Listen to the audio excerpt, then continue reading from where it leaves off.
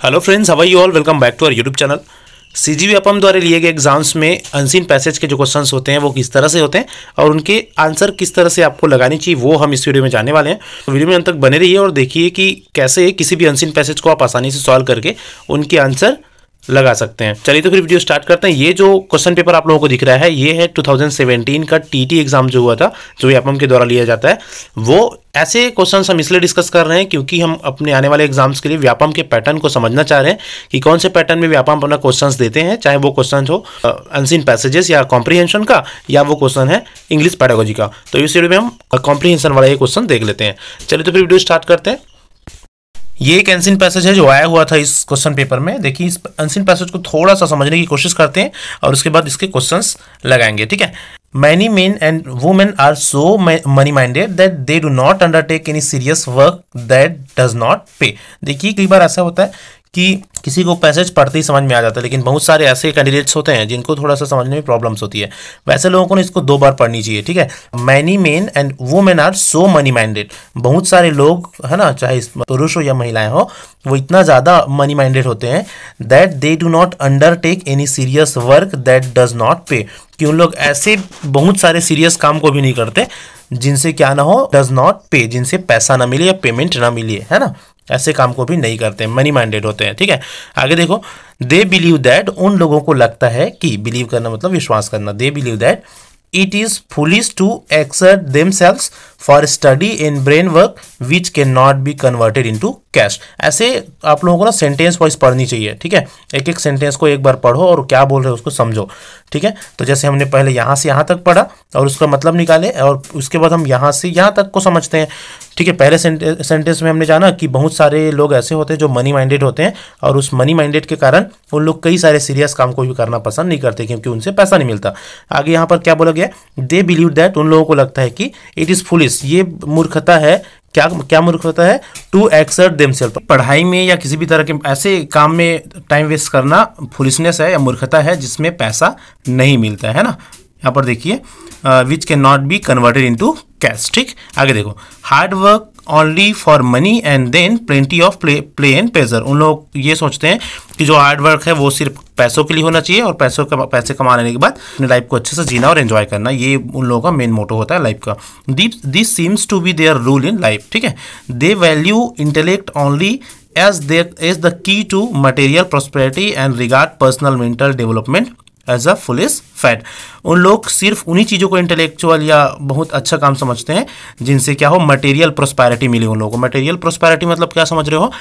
जो सुख सुविधाओं की चीज़ें होती हैं ना, उसको मटेरियल प्रोस्पैरिटी या समृद्धि उन लोग मानते हैं। तो उन्हीं लोगों को वो क्या करते हैं? अपने पर्सनल जो रिगार्ड है या पर्सनल जो एंजॉयमेंट है उसका सोर्स उन लोग मानते हैं ठीक है? बाकी चीज़ों को फुलिसनेस समझते हैं या मूर्खता समझते हैं। आगे देखो this miserable materialistic psychology is very deep rooted in all class of society ये जो मटेरियलिस्टिक uh, साइकोलॉजी है वो सिर्फ़ अमीरों में नहीं बल्कि आल क्लास जितने भी क्लासेस होते हैं पुअर रिच मीडियम फैमिली सभी लोगों में पाई जाती है। ऐसा नहीं कि जो रिच लोग होते हैं, सिर्फ़ वही लोग मटेरियलिस्टिक साइकोलॉजिस्ट के होते हैं या मटेरियलिस्टिक मेंटालिटी के होते हैं। ठीक है? यहाँ पर देखो आल क्लास ऑफ़ सोसाइटी में ये चीज़ें बसी पड़ी है। ये मेंटालिटी पाई जाती है। आगे देखिए rich and poor all suffers from it है ना? वही बात जो हमने डिस्कस किया। An old working women complained to me of her sons habit of vocationally buying some books and said यहाँ पर ये बोला जा रहा है कि एक ओल्ड वुमेन वर्किंग वुमेन ने मेरे से ये कंप्लेन किया कि उनकी जो बेटा है आ, ही उनका एक हैबिट है वो क्या करता है ओकेजनली बाइंग सम बुक्स अक्सर वो क्या करते रहता है ओकेजनली मीन्स अक्सर है ना याद रखिएगा। Occasionally buying some books inside we he waste his money on books और वो लेडी क्या बोलती है उनको कि वो पुस्तकों में अपना पैसा वेस्ट करते हैं।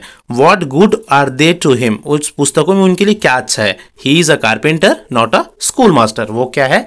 वो लड़का एक कारपेंटर है कारपेंटर का काम करते हैं वो कोई स्कूल मास्टर नहीं जो इतना सारा बुक खरीदता है। तो, तो इस तरह से एक मेंटालिटी इस तरह की मेंटालिटी लोगों में पाई जाती है। बहुत सारे लोग ऐसे होते हैं जो सिर्फ़ वही काम करना पसंद करते हैं जिनसे पैसा बने। उन लोग फ्यूचर का नहीं सोचते हैं ना? ये एक बेसिक कॉन्सेप्ट है इस पैसेज का।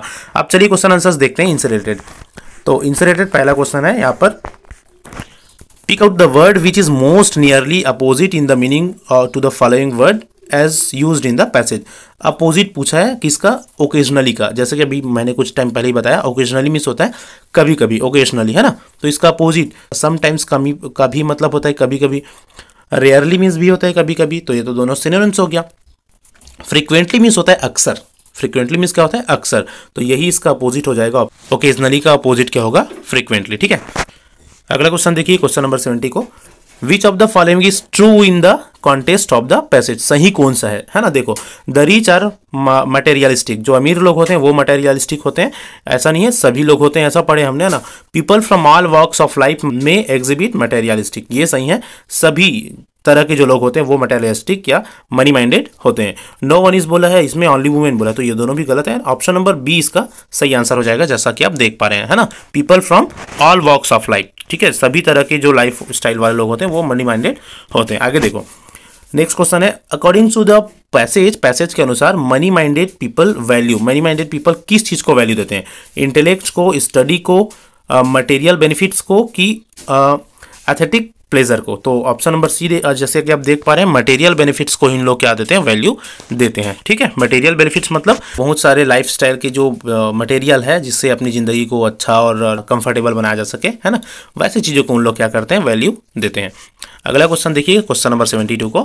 Pick out the word which is most nearly the same in the meaning to the following word in capitals as use in the passage की सेम पूछा गया है, जो नीचे वर्ड दिया गया है, उनका सेम मीनिंग मतलब सिनोनिम्स तो की मतलब क्या होगा? एक है एक्सिस कोड आंसर और म्यूजिकल टोन तो म्यूजिकल टोन तो नहीं होगा, है ना? आंसर करना भी नहीं होता, की मतलब की एक तरह से सेम मीनिंग है कोड का, है ना? कोड मतलब भी किसी चीज़ को खोलना और की मतलब भी किसी चीज़ को ओपन करना, ठीक है? तो ऑप्शन नंबर बीस का सही आंसर होगा। नेक्स्ट क्वेश्चन देखो। Why do many people not like to buy or read books why do many people not like to buy or read books बहुत सारे लोग उस पुस्तक खरीदना क्यों पसंद नहीं करते? देखिए हम ना किसी भी आंसर को तभी सही कर पाएँगे जब हमें क्वेश्चन अच्छे से समझ में आए, ठीक है? तो क्वेश्चन को समझना बहुत ज़रूरी होता है, ठीक है? देखिए because they do not have time for it क्योंकि उन लोगों के पास समय नहीं है। ये गलत है ना? Because they do not understand books क्योंकि उन लोग बुक को समझते नहीं। बुक को समझते नहीं, ऐसा तो नहीं पढ़ने तो आता है सबको, ठीक है? Because they do not get books क्योंकि उन लोगों को पुस्तकें नहीं मिलती, ये भी नहीं है। ऑप्शन नंबर फोर देखो because they think that books do not help them to getting in getting money क्योंकि उन लोगों को लगता है कि जो पुस्तकें हैं, उन लोग, वो पैसा बनाने में इन लोगों का मदद नहीं करेंगे, इसलिए उन लोग पुस्तक खरीदना पसंद नहीं करते, ठीक है? चलिए तो फिर अगला क्वेश्चन है। Hard work only for money and then plenty of plain pleasure this seems to be their rule of life main verb in the above sentences ये जो सेंटेंस हमने पढ़ा है ना ऊपर, इसमें मेन वर्ब कौन सा है करके पूछा है ना? मेन वर्ब देखिए चार ऑप्शन है play rule plenty and seems अगर हम प्ले को देखें तो प्लेन प्लेजर ये तो एक तरह का फ्रेजल वर्ब्स या एक दोनों एक साथ यूज़ होने वाले वर्ड्स हैं प्ले एंड प्लेजर ठीक है? तो यहाँ पर ये नहीं होगा। रूल्स अगर हम देखेंगे तो रूल्स ऑफ़ लाइफ ये भी नहीं है। प्लेंटी तो एक तरह का एडवर्ब या एडजेक्टिव हो गया, ठीक है? सीम्स जो वर्ड है यहाँ पर इस सेंटेंस में आप देख पा रहे होगा दिस सीम्स ऐसा लगता है कि, है ना? ये हमारा मेन वर्ब हो जाएगा तो ऑप्शन नंबर डी इसका सही आंसर है। अगला क्वेश्चन देखो। Many men and women are so money minded that they do not undertake any serious work that does not pay.